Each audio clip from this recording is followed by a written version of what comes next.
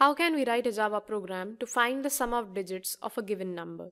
Hello everyone, this is Sukanya from GoEduHub Technologies and in this video we are going to discuss and implement a Java program to find the sum of digits of a given number.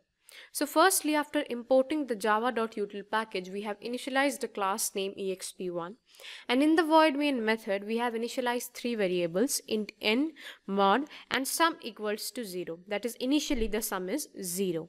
System.outprint it is going to ask the user for entering the number and with the help of scanner class creating a new object sc we can enter that particular number and pass that number to the n variable with the help of dot nextInt method. Now while n is not equals to 0, the modulus will be calculated by dividing the modulus division of the number by 10. Sum is then added with that modulus and then n is equals to n divided by 10.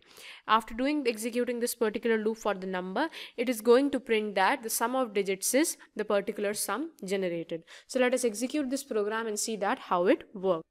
So here you can see that I have written my file and saved it as experiment6.java and as I compile this particular file if there are any errors then it will be shown here or else it will return me a new line.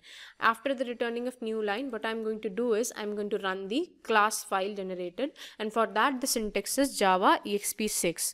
Now it is asking me to enter the number so I am entering the number 458 and it generates me the sum that the sum of the digits is 17. So this is how we can generate the sum of digits by writing a simple Java program. For more such experiments of Java, we will look into upcoming videos.